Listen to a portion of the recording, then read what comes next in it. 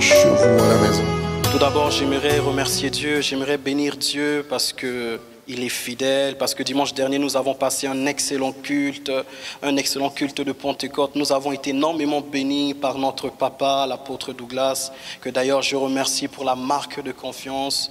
Nous sommes bénis. Et est-ce que là où tu es, tu peux tout simplement, toi qui viens de te connecter, tu peux tout simplement commencer à élever ta voix, commencer à, à dire tout simplement merci, merci à Dieu, commencer à élever ta voix et dire que Dieu est fidèle. Nous sommes dans ce culte d'enseignement et nous croyons que la parole de Dieu a juste besoin d'être entendue. On n'a pas besoin de voir, mais d'entendre. J'aime quand la Bible dit, heureux ceux qui ont cru sans avoir vu. Ils ont seulement entendu et nous sommes bénis. Nous sommes bénis parce que nous avons des oreilles pour écouter cette parole. Et là où tu es, commence tout simplement à contempler Dieu, à dire merci. Merci à Dieu pour sa grâce. Merci à Dieu pour sa fidélité. Merci à Dieu pour ce jour. Ah oui, ce jour encore une bénédiction car Dieu a renouvelé ses bontés, car Dieu nous a fait du bien, car Dieu était au contrôle, car Dieu était au contrôle dès le commencement. J'aime quand Job dit que l'Esprit de Dieu m'anime, que l'Esprit de Dieu puisse animer ces temps de partage, ce culte d'enseignement, que l'Esprit de Dieu puisse animer ces instants. Là où tu es, je ne sais pas si tu es dans ta chambre, dans le salon ou dans un train, peu importe, là où tu es, tu peux tout simplement commencer à préparer la piste, la piste d'atterrissage de la présence de Dieu. Oui, parce que Dieu est comme cet avion qui doit atterrir et la piste doit être prête afin de pouvoir se stabiliser. La piste, c'est notre cœur. La piste d'atterrissage, c'est notre cœur. Et Dieu veut atterrir. Le Dieu de gloire veut atterrir. Le Dieu de gloire veut atterrir atterrir. Prépare ton cœur et dis-lui, Seigneur, atterris, atterris, atterris avec toute ta gloire, afin que nous puissions bénéficier, Seigneur, de tout ce que tu as prévu. Oh, combien tu es fidèle, combien tu es fidèle dans ce culte d'enseignement, combien tu es fidèle, Seigneur, pour chacun d'entre nous. Oh, nous avons tellement, Seigneur, confiance, confiance que tu es capable de faire au-delà de ce que que nous pensons, de ce que nous imaginons. Seigneur, nous savons que tu es capable de prendre toute la place et de la remplir, de la remplir, Seigneur. Oh, le Dieu vers lequel nous avançons ce soir, bien-aimé, il est ce rocher dans le désert qui accompagnait Israël.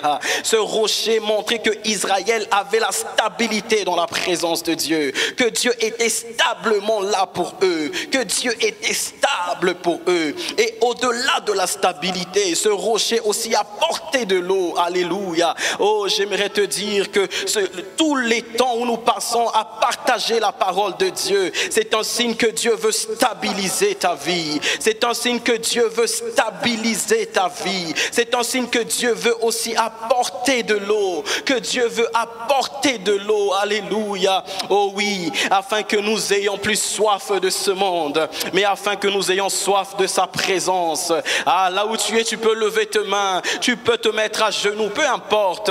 Mais tout ce qui compte, c'est que tes mains soient levées vers lui. Ah, la Bible dit, je lève mes yeux vers les montagnes.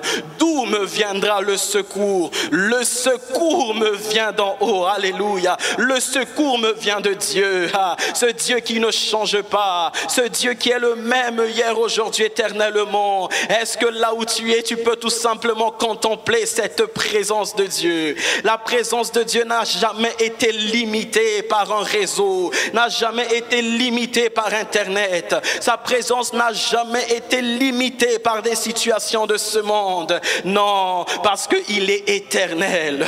Parce qu'il est éternel. Il passe même là où, on ne, là où l'homme ne peut pas passer. Alléluia. Oh Jésus, oh Jésus, s'il y a un cœur de pierre quelque part ce soir, Seigneur, je prie que ta parole traverse ce mur de pierre afin d'atteindre le cœur, afin d'atteindre le cœur. Oh Seigneur. Alléluia. Alléluia. Pendant que nous avançons au fur et à mesure, pendant que nous avançons au fur et à mesure vers notre enseignement, là où tu es, tu peux tout simplement continuer à lui dire qu'il est merveilleux. J'aime la Bible dans Acte 10. La Bible dit que Pierre alla à Jopé pour aller à la maison de Corneille. Et la Bible dit que Pierre commença à enseigner les gens de la maison de Corneille. Et étonnamment, Pierre parlait de Jésus. Mais la Bible dit, pendant qu'il parlait de Jésus, l'Esprit a commencé à remplir la maison. Les gens de la maison commençaient à parler en langue. Pierre ne s'attendait même pas à ça. D'ailleurs, il ne croyait même pas que les païens pouvaient aussi recevoir l'Esprit. Mais quand il a vu cela, il s'est mis à louer Dieu. Qu'est-ce que je veux dire par là? C'est que là où tu es tout simplement, bien-aimé, pendant que nous serons en train de partager la parole de Dieu, le Seigneur est capable même de faire des choses que nous ne dirons pas. Tout simplement, ton cœur soit connecté. Tout simplement que ton cœur soit rempli de foi. Oh Jesus, Marababoshe. Merci Jésus. Merci Jésus. Merci pour ces instants. Merci pour ces instants. Merci pour ces instants.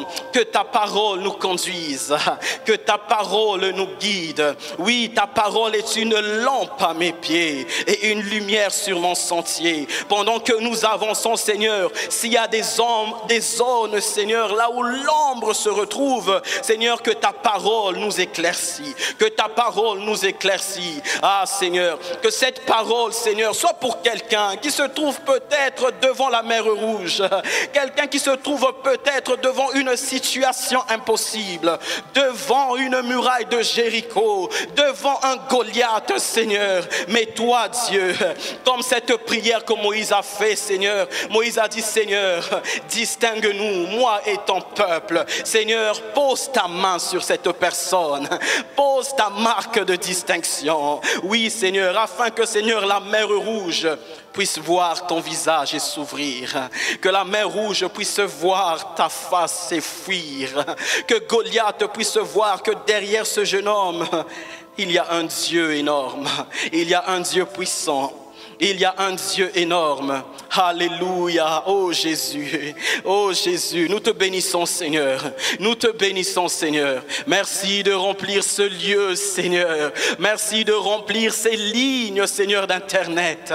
Merci de remplir Seigneur le chemin que nous sommes en train de suivre.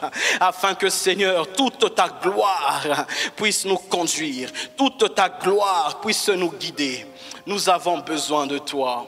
Alléluia. Alléluia. Alléluia. Alléluia. Là où tu es, tu peux tout simplement commencer à dire merci. Merci parce que nos cœurs sont prêts. Merci parce que nos cœurs qui sont les pistes d'atterrissage de la parole de Dieu sont prêts. Tu peux lui dire merci parce que mon cœur est prêt à recevoir. Merci parce que mon cœur est prêt à entendre. Oui, Seigneur, parce que la Bible dit, car la foi vient de ce qu'on écoute. Et ce qu'on écoute vient de la parole de Christ. Tu peux lui dire cela. Tu peux lui dire, Seigneur, mon cœur est prêt. Je veux entendre avec les oreilles du cœur. Je veux entendre avec les oreilles du cœur. D'ailleurs, je veux que tu illumines même les yeux de mon cœur, afin que cette parole demeure, afin que cette parole reste. Seigneur, bénis ce temps. Alléluia. Alléluia. Alléluia. Oui, soyez encore les bienvenus dans ce culte d'enseignement. Alléluia. Nous sommes bénis. Jésus, merci. Merci Seigneur. Merci Père. Merci Seigneur. Alléluia. Alléluia Jésus. Parle-nous. La Bible dit dans Genèse 49, Seigneur, que Israël appela ses fils pour leur annoncer les choses à venir. Nous savons, Seigneur, qu'à chaque moment, tu, tu fais appel, Seigneur, à tes enfants afin de venir écouter ta parole. C'est pour leur parler des choses qui viennent. Seigneur, ta parole qui est éternelle a la capacité de nous parler du présent, du passé, du futur. Raison pour laquelle, Seigneur, nous laissons ton esprit au contrôle de chacune des situations, de chaque mot, de chaque parole, afin que chacun dans ce culte d'enseignement reçoivent la part qui ne sera même pas dite, Seigneur. Alléluia, oui, parce que ta parole a cette capacité. Nous pouvons parler d'autre chose, Seigneur, mais recevoir aussi autre chose. Ah, parce que ta parole, Seigneur, est comme, dit la Bible dans Genèse 2, que dans, dans Éden, il y avait, il y avait un fleuve qui, qui, qui arrosait le jardin. Et ce fleuve se divisait en quatre branches. Nous savons que nous pouvons parler, Seigneur, de toi, Seigneur, tu peux te diviser et aller, Seigneur, de plusieurs côtés afin d'atteindre ton objectif. Dans le nom de Jésus. Amen. Amen. Alléluia. Nous passons tout simplement, si tu as ta Bible avec toi, j'aimerais t'inviter à prendre ce passage, 1 Chronique 4, versets 1 à 23. 1 Chronique 4, versets 1 à 23. Et nous sommes dans ce grand thème, vous savez, cette année, le thème principal de, de, l'Église, de cette résurrection, c'est l'élargissement. Et, et, et, nous voulons rester dans ce thème, mais j'ai eu à cœur de, de développer un, un sous-thème qui est une marque de distinction je répète, une marque de distinction. Est-ce que quelqu'un peut dire que Dieu va me faire du bien? Et si tu es avec des gens autour de toi, est-ce que tu peux dire Dieu va te faire du bien? Alléluia. Et là où tu es, si tu peux partager cette vidéo, si tu peux partager pour encourager quelqu'un, fais-le parce que la parole de Dieu ne rate jamais sa cible. Alléluia. Je lis la parole de Dieu dans 1 Chronique 4, versets 1 à 23. C'est un peu une longue, une longue lecture, mais, mais supportez-moi s'il vous plaît. Nous allons essayer d'aller assez vite pour attraper le temps. 1 Chronique 4, verset 1 à 23. La Bible dit, fils de Judas, Péretz, Ezron, Carmi, Ur et Shobal. Réaja, fils de Shobal, engendra Jachat. Jachat engendra Ashumai et Lahad. Ce sont les familles des Voici les descendants du père d'Étam, Gisraël, Jishma et Shidbash. Le nom de leur sœur était Atselelponi. Pénuel était père de Gédor et Ezer père de Husha. Ce sont là les fils de Hur, premier-né d'Ephrata, père de Bethléem. Ashur, père de Tekoa, eut deux femmes, Eléa et Nara. Nara lui enfanta Ashuzam, Efer, Temeni et Tari. Ce sont là les fils de Nara, fils de Eléa, Seret, Sochar et Etnan. Kots engendra Anoub et Atsobeba, et les familles d'Achar, Shel, fils d'Arum, Jaébet, verset 9, était plus considéré que ses frères. Sa mère lui donna le nom de Jaébet en disant, c'est parce que je l'ai enfanté avec douleur. J'aimerais bien que nous puissions retenir les versets 9 et 10 principalement. Et ça continue en disant, Jaébet invoqua le Dieu d'Israël en disant, si tu me bénis et que tu étends de mes limites, si ta main est avec moi, si tu me préserves du malheur, en sorte que je ne sois pas dans la souffrance. Et Dieu accorda ce qu'il avait demandé. Je continue la lecture. Kélub, frère de Shusha, engendra Méchir, qui fut père d'Eshton. Eshton engendra la maison de Rapha. Pazéach et Tcheshina, père de la ville de Nachash. Ce sont là les hommes de Reka, fils de Kenaz, Othniel et Seraja, fils d'Othniel, à Tat, Méonotai engendra Ophra. Seraja engendra Joab, père de la vallée des ouvriers, car ils étaient ouvriers.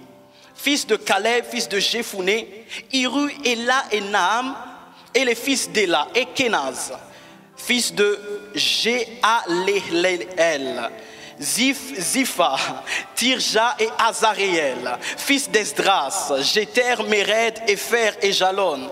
La femme de Méred enfanta Myriam, Shamaï et Shishbash, père d'Eshtemoa. Sa femme, la juive, enfanta Jéred, père de Gédor, Héber, père de Soko, et Jécoutiel, père de Zanoach.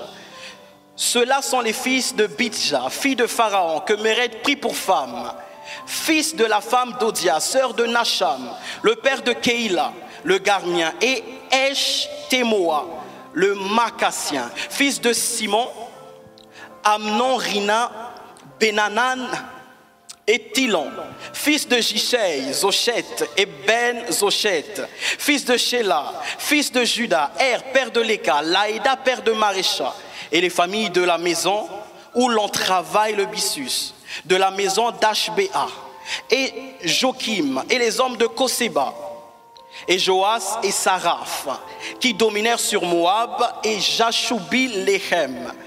Ces choses sont anciennes. C'étaient les potiers et les habitants des plantations et des parcs. Ils demeuraient là près du roi et travaillaient pour lui. Alléluia, Amen. Nous avons fini cette longue lecture. Je commence premièrement par, par vous dire pardon, par m'excuser, tout simplement parce que c'est une longue lecture, je sais. Et je suis même sûr que pendant qu'on lisait, quelqu'un a dit, frère Zorobabel, est-ce que tu veux nous prêcher en langue ou quoi? J'en suis même sûr. Mais j'aimerais te rassurer. J'aimerais d'ailleurs te féliciter parce que tu m'as supporté dans cette lecture. Parce que on a lu à peu près 120 ans. 120 ans. Et je te félicite parce que c'est le genre de texte que la plupart d'entre nous, on n'aime pas trop lire. Les généalogies sont des longs textes qu'on n'aime pas trop lire. Mais les généalogies sont riches. Sont riches. Et, j'aime surtout, j'aime surtout ce, passage de 1 Chronique 4. Pourquoi? Parce que il il rencontre beaucoup ce que j'aimerais vous partager ce soir.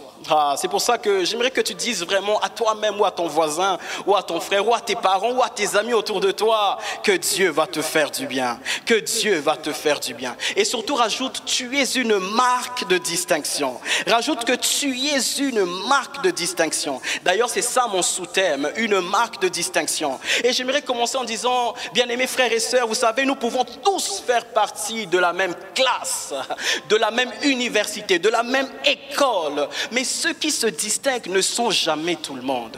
Vous savez, nous pouvons tous faire partie de la même chorale, de la même église. Mais ceux qui se distinguent sont toujours des gens à part. Ce n'est pas tout le monde qui se distingue. Vous savez, on peut être des jumeaux, nous pouvons être des triplés, on peut se ressembler.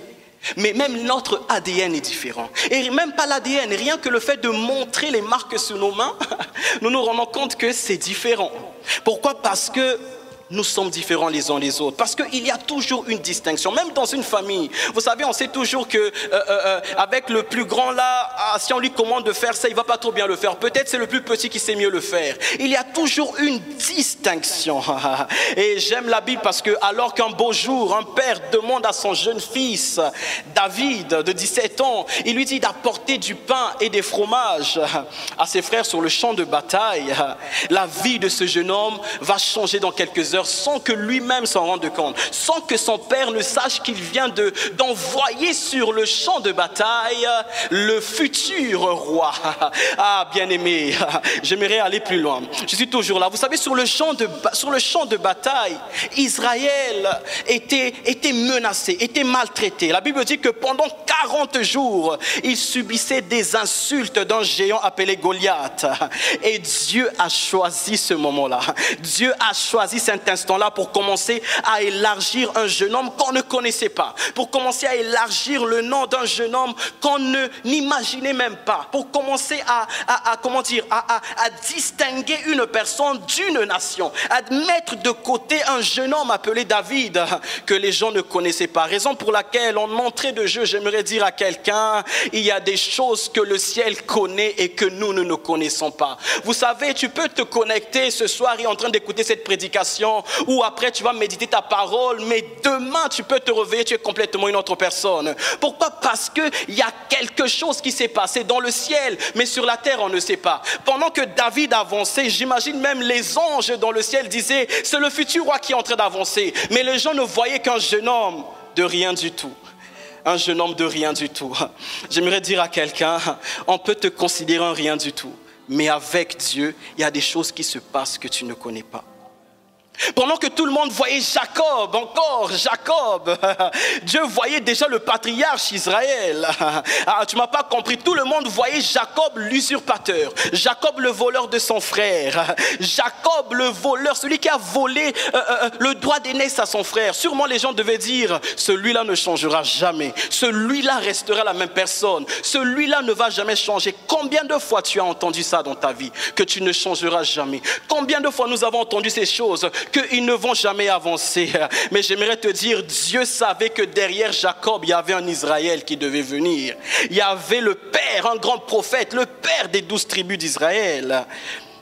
Exode 33, verset 16, la Bible dit, Comment sera-t-il donc certain que j'ai trouvé grâce à tes yeux? C'est Moïse qui parle. Moi et ton peuple, ne serait-ce ne serait pas quand tu marcheras avec nous et quand tu nous serons et quand tu vas nous distinguer moi et ton peuple de tous les peuples qui sont sur la surface de la terre. J'aime surtout cette partie parce que quand on lit Genèse 32, on se rend compte que, que, cette prière intervient après un moment de crise, après un moment où la gestion des conflits était difficile. Pourquoi? Parce que dans Exode 32, on se rend compte que, que Moïse tarde de descendre à la montagne parce qu'il est allé récupérer les tables de la loi. Et la Bible dit que pendant que Moïse tardait, le peuple devait impatient, le peuple était fatigué, le peuple n'en pouvait plus. Et le peuple demande à Aaron, Aaron, fais-nous un veau d'or, fais-nous un autre Dieu que nous voulons voir. Et Aaron suivit le peuple. Et, et, bizarrement, Dieu depuis la montagne, Dieu depuis la montagne a entendu, et il s'est irrité, Dieu s'est fâché.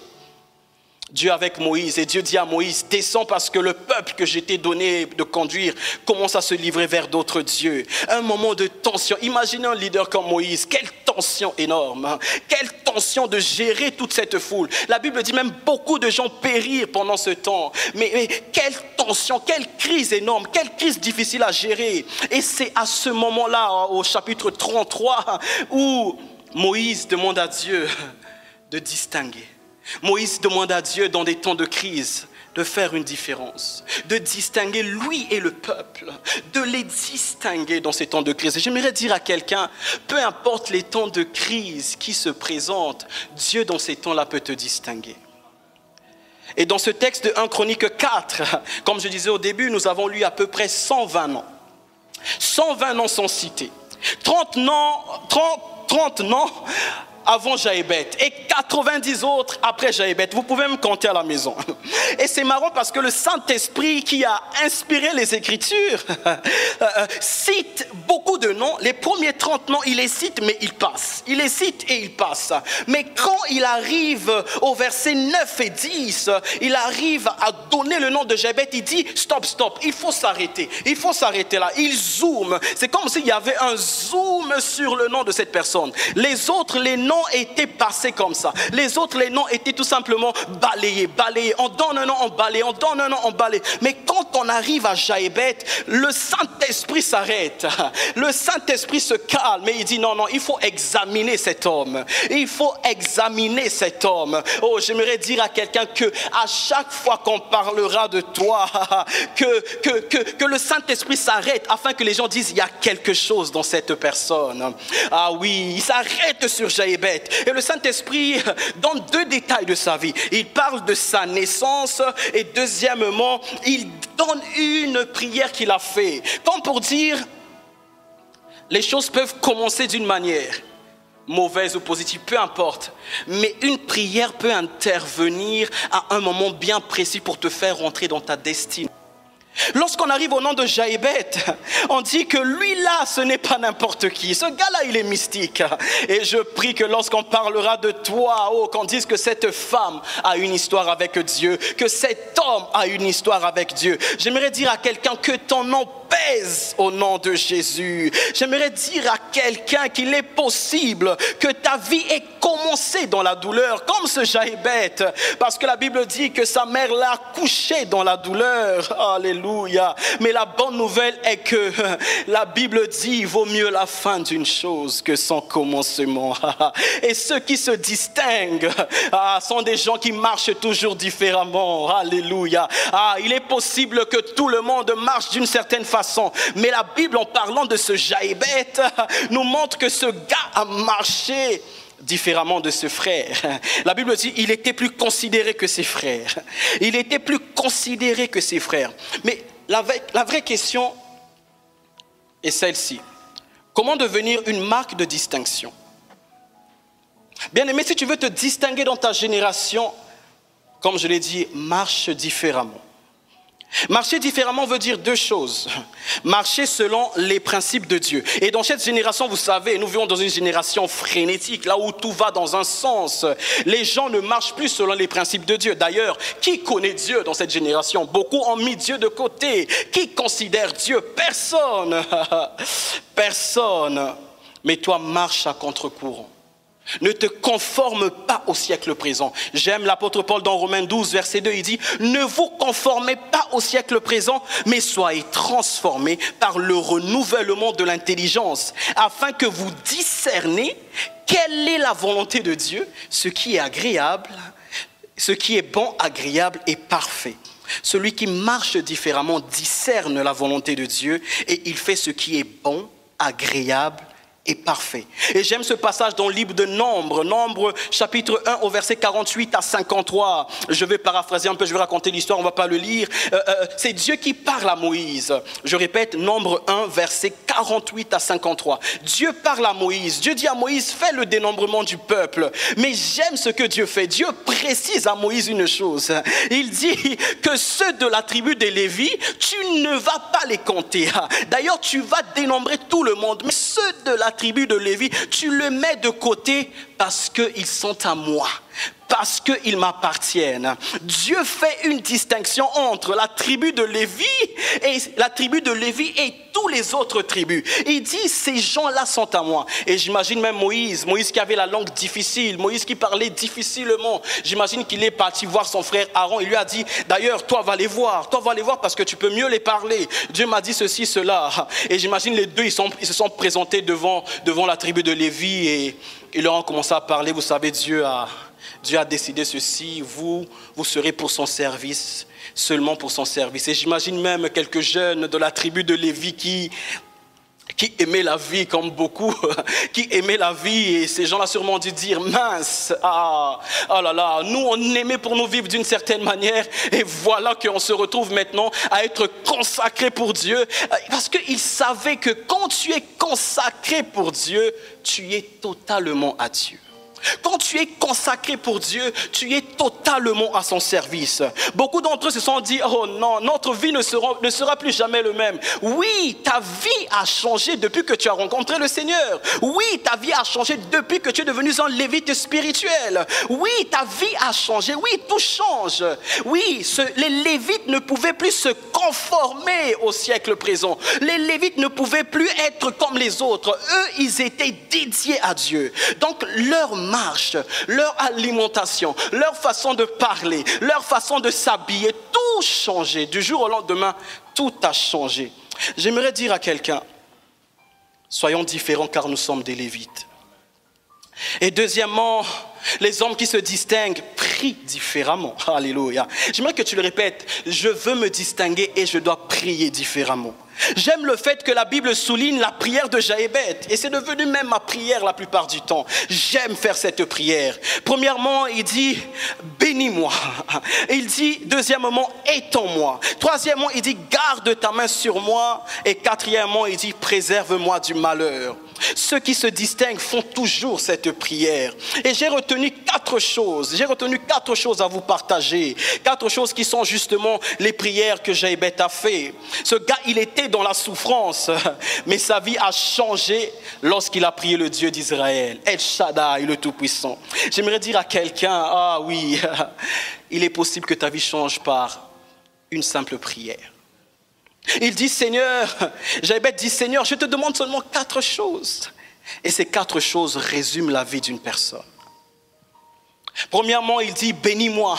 Bien aimé, la bénédiction, c'est plusieurs choses. C'est plusieurs choses. Je commence par la bénédiction matérielle. Oui, c'est aussi important la bénédiction matérielle. Et je prie que Dieu, même financièrement, nous emmène loin. Que Dieu puisse aider les enfants de Dieu à avoir des postes là où ils dirigent des, des sociétés, des entreprises, des postes à responsabilité. Que Dieu puisse agrandir le peuple de Dieu, même dans la politique, à gouverner des pays. Pourquoi? Parce qu'on a besoin que les enfants de Dieu puissent mettre leur empreinte partout dans le monde. Parce que vous savez que si Dieu t'élève financièrement, c'est d'autres personnes qui vont venir écouter ta voix. Tout le monde va t'entendre. J'aime cet homme qui nous a quitté, Billy Graham, un homme de Dieu exceptionnel. Mais cet homme de Dieu avait les moyens qu'il fallait. Il marchait avec des présidents. Et beaucoup pouvaient l'écouter parce que cet homme de Dieu était toujours haut placé. Il avait des contacts, il avait des relations haut placées parce que c'était un homme que Dieu avait aussi béni, au-delà spirituel, mais aussi matériel. Et ma prière, c'est qu'il le fera avec nous aussi. Deuxièmement, la bénédiction, c'est surtout spirituel. La bénédiction, c'est vraiment spirituel. Et j'aime un texte que j'aime beaucoup partager. J'aime beaucoup être sur ce texte. Genèse 32, à partir du verset 25, je paraphrase. Un jour, Jacob lutte avec l'ange. L'ange lui casse la hanche. Jacob commence même à boiter. Mais il s'accroche à l'ange. L'ange lui dit, laisse-moi partir car le matin arrive. Mais Jacob lui dit une chose bizarre. Il lui dit, je ne te laisserai pas, je ne te laisse partir tant que tu ne m'es pas béni. Tant que tu m'as pas béni, je ne te laisse pas. Et là, la bénédiction, elle est différente. Parce que quand on lit Genèse 29, 30, 31, même 32, on se rend compte que Jacob, depuis que Jacob était béni par Dieu, depuis qu'il était chez son oncle Laban, il a été enrichi par beaucoup de vaches. Il était même marié avec deux, deux femmes. Et je peux entendre quelqu'un qui dit, ah, j'aimerais bien avoir deux femmes. Non, frère. Non, frère, pas du tout. Un homme n'a pas de cœur. Un homme a juste un cœur. Et, et vous savez, il a été énormément béni. Et il fait même une prière dans Genèse 32, verset 10. Il dit à Dieu, il dit, Seigneur, je suis trop, je suis trop petit pour, pour toutes les grâces et pour toute la fidélité dont tu as usé envers ton serviteur. Il dit, car j'ai passé ce Jourdain autrefois avec mon bâton et maintenant je forme deux camps quand je reviens. En fait, il est en train de dire, euh, euh, Seigneur, j'étais parti, j'avais seulement un bâton, mais quand je me retrouve aujourd'hui encore ici, tellement tu m'as béni, regarde tout ce camp que je forme. Regarde la grandeur autour de moi. Regarde ce que tu m'as donné. Jacob a été béni. Mais alors de quelle bénédiction il parle en demandant cela à l'ange? Parce que Jacob lutta avec l'ange toute la nuit et il lui demande une chose, bénis-moi. Jacob, mais tu es ingrat, Dieu t'a déjà béni. Jacob, tu as deux camps, tu as plusieurs choses, tu as deux femmes, tu as beaucoup d'enfants, tu as beaucoup de serviteurs. Jacob, quelle bénédiction tu cherches encore? Jacob, qu'est-ce que tu veux encore? Ce que j'aime, c'est que Jacob s'est rendu compte d'une chose, que la vraie bénédiction n'est pas l'accumulation du matériel ou de l'argent. La vraie bénédiction n'est pas l'accumulation des avoirs ou des biens, mais la vraie bénédiction, c'est la transformation de l'être intérieur. Et l'ange lui pose la question, comment tu t'appelles? Il dit, je m'appelle Jacob. Excusez-moi, j'ai un peu transpiré. Il dit, je m'appelle Jacob. Et l'ange lui dit, tu seras désormais Israël. Et l'ange s'en va. Donc ce que Jacob cherchait, c'est que Jacob meure afin que Israël vive. Bien aimé, que cela soit notre désir. Que le nous puisse mourir, afin que celui qui est la réelle bénédiction de notre vie puisse vivre dedans de nous. Que Jésus prenne toute la place. La deuxième prière de Jaébet, Jaébet, il dit, étends mes limites, étends mes limites. Que quelqu'un dise, Seigneur, étends mes limites, de gauche, de droite, devant et derrière. Seigneur, étends mes limites. Oui, c'est la volonté de Dieu. La volonté de Dieu d'aller au-delà des limites, de sortir de cette boîte, de sortir de notre environnement. Jésus même dit aux apôtres dans Acte 1, 8, il dit, mais vous recevrez une puissance, le Saint-Esprit survenant sur vous, et vous serez mes témoins à Jérusalem, dans toute la Judée et dans la Samarie, et jusqu'aux extrémités de la terre. La volonté de Dieu, bien aimé, c'est de nous étendre de tous côtés, afin d'être des vrais témoin comme on nous l'a prêché ce dimanche de Pentecôte. Un merveilleux message. Si tu en as l'occasion, réécoute ce message sur, euh, sur YouTube parce qu'il va te faire énormément du bien. Pendant, vous savez, pendant ce temps de confinement, on pensait que l'Église, le corps du Christ, allait fermer ses portes. Mais ce temps a permis que même l'évangélisation au niveau des réseaux sociaux fasse davantage arriver la parole de Dieu dans des coins où il n'y a pas une télévision mais il y a Internet sur un smartphone.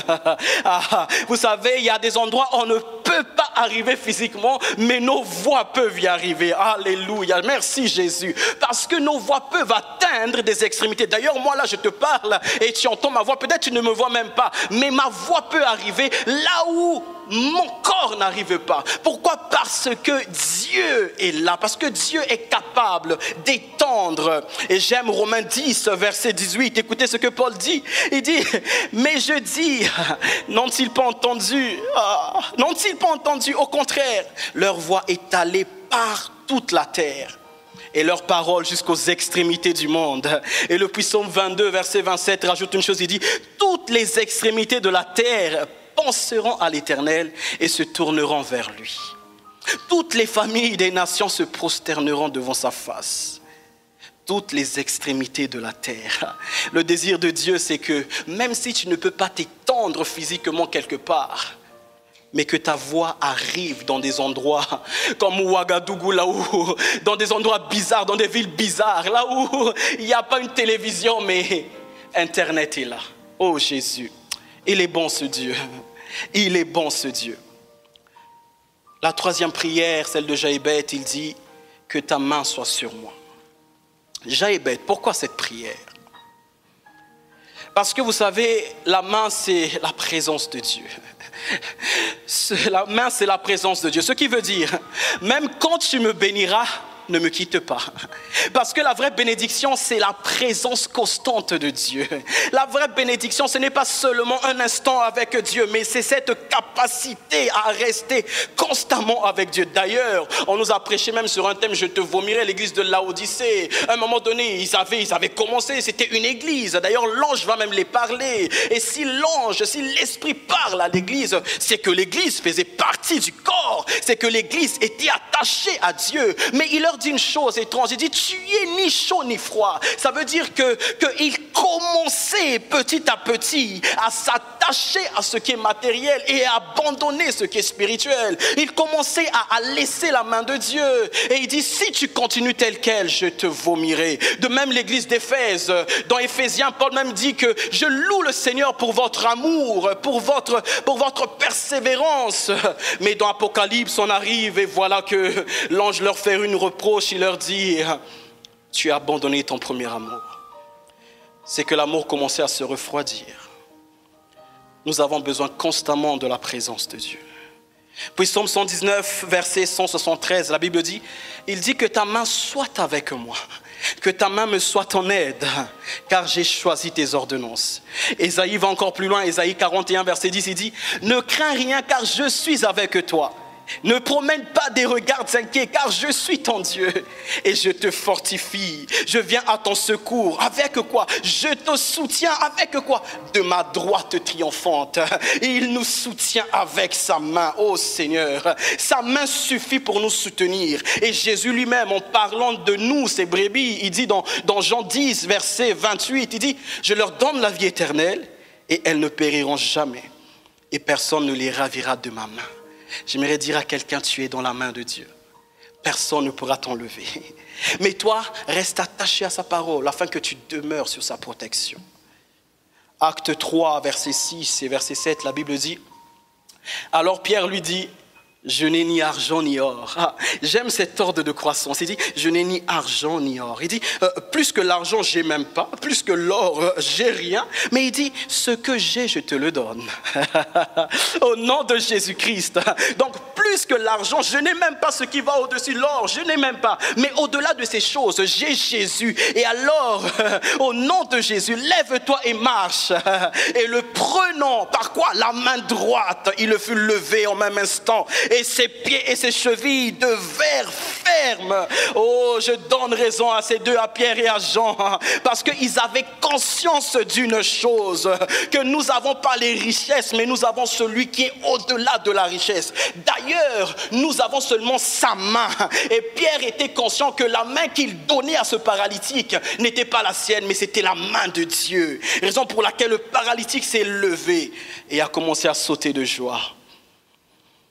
J'aimerais aller plus vite. La quatrième prière de Jaïbet, il dit Préserve-moi du malheur. Le nom de Jaïbet veut dire douleur, malheur. Nous l'avons lu d'ailleurs, sa mère l'a engendré dans, la souffrance. Il veut dire Préserve-moi des réalités liées à mon nom. Ah, c'est comme si Jaïbet était en train de demander à Dieu ah, Seigneur, change mon identité. Donne-moi un nouveau nom, change mon identité. Quelle est la dernière fois que tu as fait ce, genre de prière? Demander à Dieu, Seigneur, change mon identité. Et j'aime Acte 4, verset 12. La Bible dit, il n'y a aucun, il n'y a de salut en aucun autre nom, car il n'y a pas sous le ciel aucun autre nom qui a été donné parmi les hommes par lequel nous devions être sauvés. Et j'aimerais dire à quelqu'un, ce n'est que le nom de Jésus. Ce n'est que le nom de Jésus qui te donne une nouvelle identité. Ce n'est que le nom de Jésus qui te donne une nouvelle forme, une nouvelle façon. Tu peux toujours rester avec le nom de douleur, mais ça devient tout simplement Jésus Jaïbet. Ça devient Jésus en Jaïbet. Ça devient Jésus prend ta douleur. Alléluia. Pourquoi? Parce qu'il prend notre place et il nous donne son joug qui est doux et léger. Puis Psaume 72, verset 17, la Bible dit, son nom subsistera toujours. Aussi longtemps que le soleil, son nom se perpétuera. Par lui, on sera, par lui, on se bénira mutuellement. Et toutes les nations le diront heureux. Ah, Jaïbet. Merci beaucoup pour ces prières, Jaïbet. Jaïbet nous apprend aussi que le plus important n'est pas toujours ce qu'on te fait subir, mais la réaction qui vient après. J'aime dans le livre de Samuel, 1 Samuel, verset 1, la Bible parle d'une famille bizarre, la famille d'Elkana, qui avait deux femmes, Anne et Pénina. Et on, sait, on connaît très bien cette histoire. Pénina avait beaucoup d'enfants, mais on ne cite jamais ses enfants, on ne cite jamais les noms de ses enfants. On dit qu'elle avait beaucoup d'enfants, elle était très féconde. Mais la Bible dit que, euh, que Anne ne pouvait pas enfanter parce que Dieu l'avait laissée telle qu'elle était. Dieu l'avait rendue stérile. Et ainsi, sa rivale Pénina, la Bible dit que Pénina euh, euh, euh, provoquait la, la, mortifier, mortifier Anne, provoquer Anne, se moquer d'Anne parce qu'elle avait un but, que Anne dégage de la maison, qu'elle avait un but, que Anne puisse partir de cette maison parce que je veux garder mon homme et lui et elle, elle n'enfantent même pas. Mais ce que j'aime, c'est que Anne, après avoir subi énormément, Anne un jour a pris la décision de réagir différemment. Elle a réagi différemment. Elle a fait des moqueries de Pénina qui étaient censées la tuer. Ces moqueries sont devenues une force qui lui ont poussé à chercher Dieu différemment et avec insistance, à chercher Dieu d'une manière différente. De même, Jaïbet, il a réagi différemment. Bien aimé, j'aimerais dire, si tu veux marcher différemment, si tu veux que les choses changent, il faut avoir la capacité de ne pas t'inquiéter de, de, ceux, de ceux qui, te, se moquent de toi, de ceux qui te disent que tu ne vaux rien. Au contraire, ceux qui te le disent en réalité sont en train de te pousser d'aller chercher Dieu différemment. Et j'aime comment 1 Chronique 4, verset, le verset 10 finit, il finit en disant, et Dieu accorda ce que Jaïbet avait demandé. Et pour terminer, nous allons lire un texte. J'aimerais que tu puisses le prendre. C'est un texte exceptionnel. C'est toujours dans 1 Chronique 2, verset 55. Waouh! Alléluia! J'espère que tu es 1 Chronique 2, verset. Tu as juste à tourner la page. 1 Chronique 2, verset 55. La Bible dit Et les familles des scribes demeurant où? À Jaébet. les Tyréaciens, les Chiméaciens et les Soucassiens ce sont les Kenyans issus de Hamath, père de la maison de Rekab. Ici, on parle de certains peuples. Ils finissent tous par sien, sien, sien. Ça, c'est pas important, c'est pas grave. Mais ce peuple, il dit, ce peuple habitait dans une ville appelée Jaébet. Aïe, aïe, aïe, aïe, aïe. Et vous savez, en faisant quelques recherches, je me suis rendu compte que la tradition juive dit que le petit garçon Jaébet, né dans la douleur, a commencé petit à petit à acheter des terres après terre, a commencé à acheter des terres, des terres autour de lui et Dieu l'avait tellement béni qu'il achète tellement de terre et il se rend compte qu'un jour, euh, la ville prend son nom de Jaébet. La ville a porté son nom. Et d'où l'importance de, ce, de, de comment termine ce message en disant, et Dieu accorda ce que Jaébet avait demandé. Alléluia. J'aimerais dire à quelqu'un, quand tu pries différemment, quand tu pries différemment et tu cherches avec insistance Dieu, Dieu va te distinguer et Dieu va t'élargir. Jaïbet a été élargi, a été étendu. Jaïbet a été béni. Jaïbet a gardé la main de Dieu sur lui. Et surtout, Jaïbet n'a plus vécu de malheur. Parce que ce jeune homme, Dieu l'a béni, l'a élargi. J'aimerais terminer en disant ceci. Une prière a changé la vie d'une personne. Une façon de prier a changé toute une vie. Et je prie que Dieu le fasse pour nous. Peu importe le début, peu importe comment tu as commencé, peu importe la façon dont tu marchais avant. Bien-aimé, si tu pries bien, tu finiras toujours dans la gloire avec Dieu. Parce que la Bible dit que Moïse alla à la montagne et il contempla la présence de Dieu. Et quand il descendit, lui-même, il s'était même pas rendu compte, mais la Bible dit que son visage rayonnait. Il a tellement côtoyé la gloire avec insistance, avec désir, que lui-même a pris une partie de cette gloire, que lui-même est devenu rayonnant. Il n'a pas pris la gloire de Dieu, mais lui-même est devenu rayonnant. J'aime quand la Bible dit, comme dans un miroir, nous nous reflétons et nous lui ressemblons de gloire en gloire. Là où tu es, je ne sais pas quelle est la prière que tu veux faire, mais je peux t'aider tout simplement. Faire ces quatre prières que Jaïbet a fait. Là où tu es, tu peux tout simplement dire, Seigneur, bénis-moi. Bénis-moi, Seigneur. Bénis-moi spirituellement avant tout. Je veux être spirituellement attaché à toi. Je veux être, Seigneur, béni financièrement aussi. Et deuxièmement, tu peux dire, Seigneur, étends-moi de tous côtés. Seigneur, je ne veux pas avoir des limites. J'ai trop eu des limites. Covid-19 a cru me limiter, mais jamais je ne serai limité. Parce que j'ai un Dieu qui est au-delà de ça. Et tu vas prier, tu vas dire, Seigneur, que ta main soit sur moi. Que ta main me garde. Même quand j'aurai touché à tes bénédictions, que je ne puisse pas sortir de ta main. Mais que je puisse rester là, attaché à ta main, Seigneur. Et tu peux lui dire, Seigneur, préserve-moi du malheur. Préserve-moi du malheur. Préserve-moi et ma famille du malheur. Alléluia Jésus. Merci Seigneur. Merci pour ta fidélité.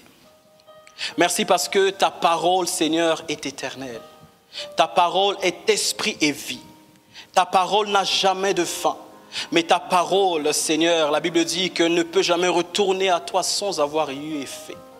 Alors que ta parole, Seigneur, qui est descendue sur cette piste qui est notre cœur, Seigneur, que ta parole s'installe, que ta parole puisse s'enraciner, que ta parole puisse s'enraciner afin que, Seigneur, nos prières même deviennent différentes, que nos prières même deviennent selon ton modèle à toi, afin, Seigneur, de vivre complètement complètement ta grâce et ta manifestation.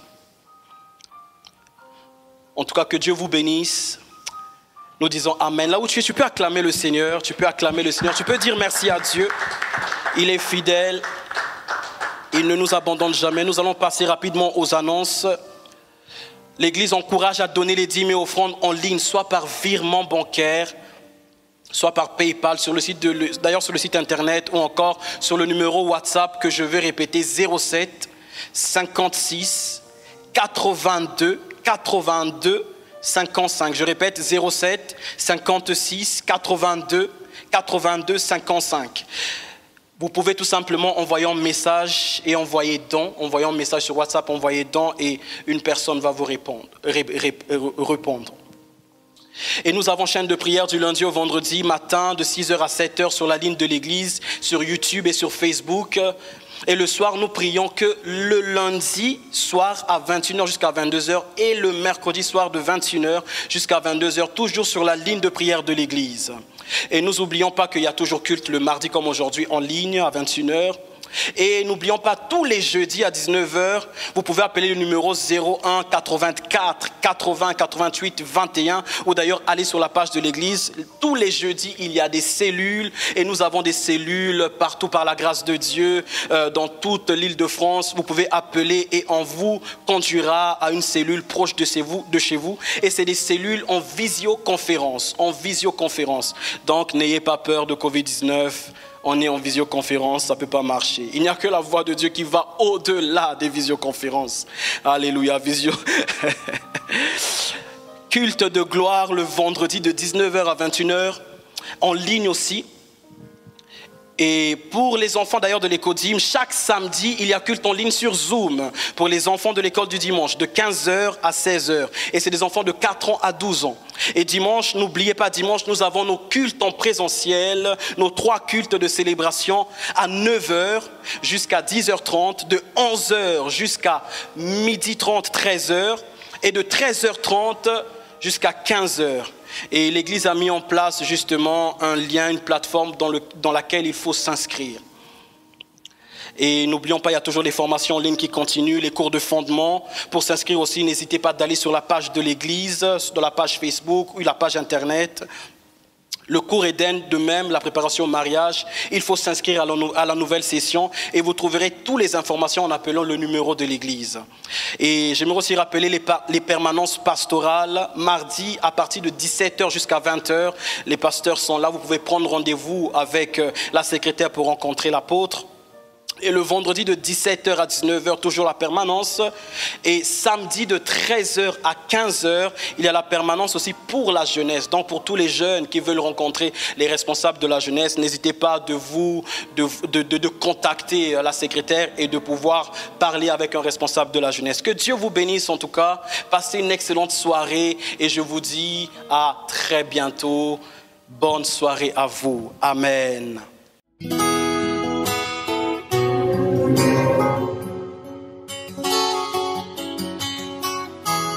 Dieu vous bénisse abondamment.